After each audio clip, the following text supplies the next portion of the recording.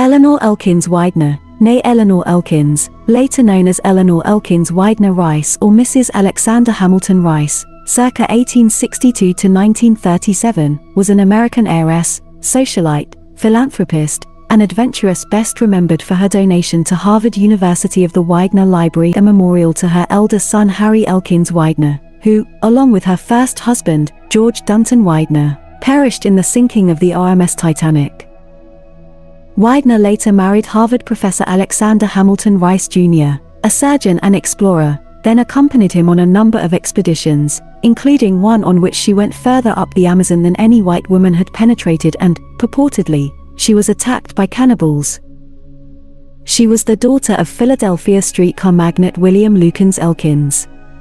In 1883 she married George Dunton Widener, son of her father's business partner, thereby two of the largest fortunes in the city. She was known as one of the city's most beautiful women. In later marriage, they lived in her father-in-law's 110-room Pennsylvania mansion, Lynnewood Hall. Their children were Harry Elkins Widener, George Dunton Widener Jr., and Eleanor Widener Dixon. In 1912 she and her husband traveled to Paris with their elder son Harry, in search of a chef for their new hotel, Philadelphia's Ritz-Carlton. On April 10 they embarked at Cherbourg on the RMS Titanic for their return to America. On the night the ship sank they hosted the ship's captain, Edward Smith, at dinner in its a la carte restaurant. George, Harry, and their valet all perished in the sinking, but Eleanor and her maid survived.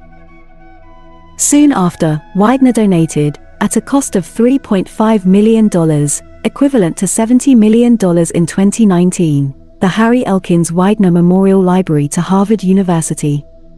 Harry Widener, who was intensely interested in the collection of rare and valuable books, had graduated from Harvard College in 1907.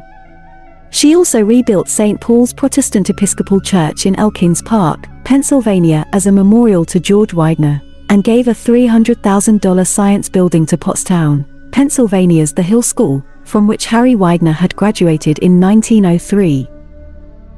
At the library's June 1915 dedication, Widener met Harvard professor Alexander Hamilton Rice Jr., a surgeon and noted South American explorer, a certified Boston Brahmin who knew Headwaters the way other society folk knew Headwaters. In October she married Rice while wearing her celebrated $750,000 string of pearls which she saved from the Titanic disaster. Another string, worth $250,000, had been lost.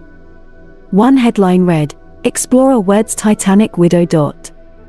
She gave up her Philadelphia home, dividing her time among Newport, New York, and Paris when not accompanying Rice in his explorations. On one such foray, Widener became the first white woman to enter the Rio Negro country where she caused a great sensation among the natives she was kindly treated and was looked upon with reverence.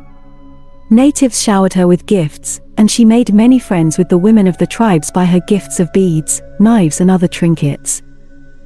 A 1920 trip on which Widener went further up the Amazon than any white woman had penetrated went less smoothly. The party warded off an attack by savages and killed two cannibals scantily clad, very ferocious and of large stature though as luck would have it, Widener had remained on the specially constructed yacht during this phase of the explorations. That particular trip was abandoned on the advice of Indian guides, but the Rices ventured several more times into the jungles. A subsequent headline read, Explorer Rice denies that he was eaten by cannibals. In 1937 Widener died in a Paris store. She left her fortune of $11 million, with minor exceptions, to a trust for the benefit of Rice, to pass on his death to her surviving son George and daughter Eleanor. Thank you for listening, and if you would like to hear more biographies, please leave a comment below and perhaps give a thumbs up and subscribe to help my channel.